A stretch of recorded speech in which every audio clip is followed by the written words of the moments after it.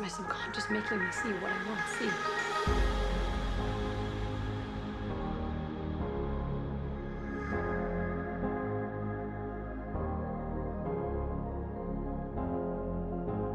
I never got to say thank you.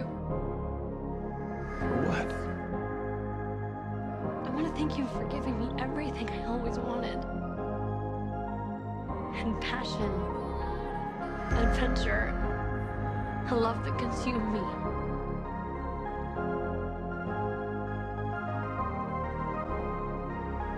There's nothing more I could ever want other than for it to last